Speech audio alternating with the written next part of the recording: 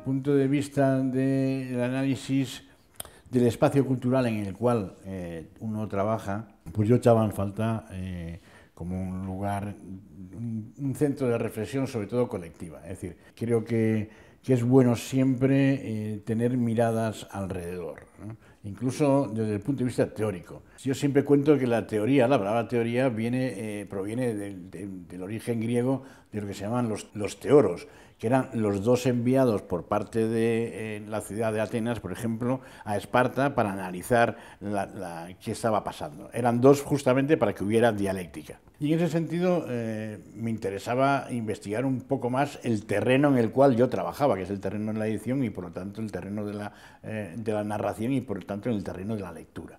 Bueno, y en ese sentido coincidió mi interés con un amigo sociólogo y una amiga eh, escritora. Entonces decidimos eh, conformar lo que se llama el colectivo Todo Hacen, que se define o nos tratamos de definirnos como un colectivo que tiene como objeto lo, que se llama investigaciones narrativas. Eh, ¿A qué se llama investigaciones narrativas?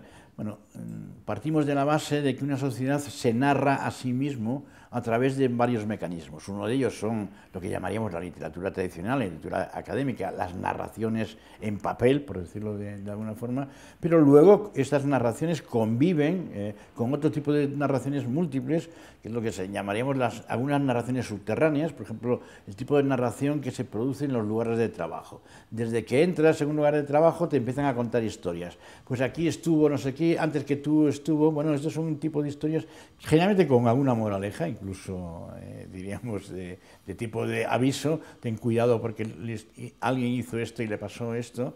Bueno, hay narraciones sordas. Hay otro tipo de narraciones que estamos inmersos en ella continuamente, que es, por ejemplo, la narración que nos cuentan los periódicos. Los periódicos nos están contando una narración, una visión de, del día a día y, también, por ejemplo, de nuestra propia historia.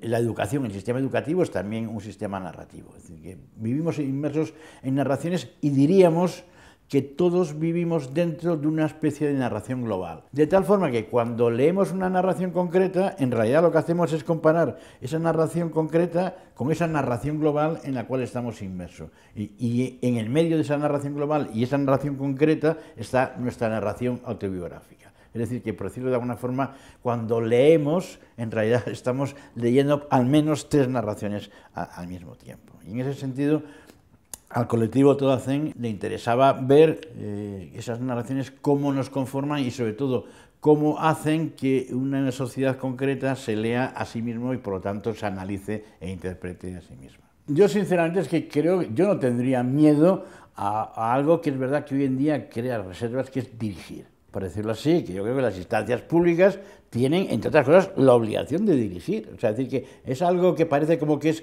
eh, intervenir eh, de, forma autoritaria en la vida de los demás. No, no, dirigir no es eso. Dirigir es ser, tener capacidad para determinar ciertas necesidades e intentar cubrirlas. ¿Qué puede hacer las instancias públicas de un ayuntamiento, la comunidad, sobre el tema eh, de la lectura informal, la lectura, la lectura de la gente que lo que quiere y necesita es leerse su propia vida, su propia historia, su propio espacio? Bueno, yo creo que hay una cosa eh, eh, bastante fácil, que es la obligación o el gusto o el deber de facilitar lugares de encuentro lo, que estamos asistiendo es a la desaparición de los espacios públicos. Bueno, pues intentemos preservar los, los, pocos espacios públicos que quedan. Desde la biblioteca como espacio público, pero bueno, también al parque como espacio público. Los lugares de encuentro que nosotros hemos estudiado de forma narrativa, por ejemplo, ¿no? por ejemplo la gente empieza, eh, en un ciclo de, que se lee, empieza leyendo textos ajenos, pero hay un momento, hay un momento en donde empiezan a aparecer las narrativas propias.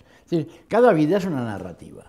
Y bueno, pues en algún momento se pasa de leer, para entendernos, a don Miguel de Cervantes, a leer eh, a tu vecino.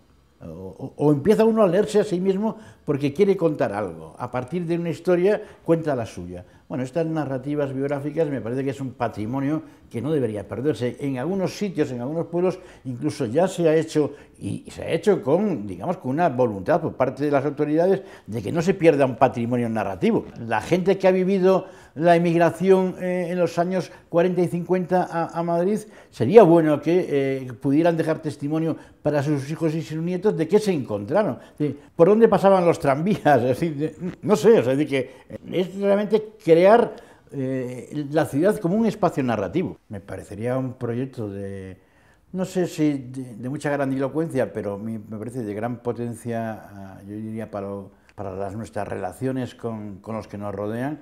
Por ejemplo, ir creando el deseo en, en nuestros ciudadanos y ciudadanas bueno, de dejar testimonio de, de, su paso por la vida. Un proyecto que en principio pensase de vamos a ayudar a que cada uno deje escrito su libro, su memoria, bueno, esto seguramente eh, juntaría muchas voluntades, es decir, que esa posibilidad para mucha gente imaginarse que es capaz de escribir un libro, la, palabra libro les da tanto miedo que es incapaz de imaginárselo. Pero, ¿por qué no facilitar un contexto en el cual vas a dejar el regalo a tus descendientes de escribir tu, memoria? Nosotros te vamos a ayudar, es decir, habrá unidades de, ayuda. ¿Por qué no un proyecto de eh, eh, la ciudad que se escriba a sí misma? Es decir, una memoria continua. Esta especie de herencia eh, intangible, bueno, seguramente es un capital que cualquiera estaría deseando poder eh, dejarlo. Y en ese sentido me parece que, bueno, escribir tiene mucho que ver con leer, porque cuando justamente estás escribiendo te das cuenta de los problemas que te encuentras cuando lees y que muchas veces no ves. ¿no? Me parece que... Eh, la memoria, la escritura y la lectura son, yo diría que entidades que están como muy cercanas y que un buen impulso sería una actividad que las interrelacionara. En ese sentido queda mucho trabajo por hacer y yo creo que es un trabajo interesante para unas autoridades o unas instancias públicas interesadas en saber que parte de la vida es la memoria. ¿no?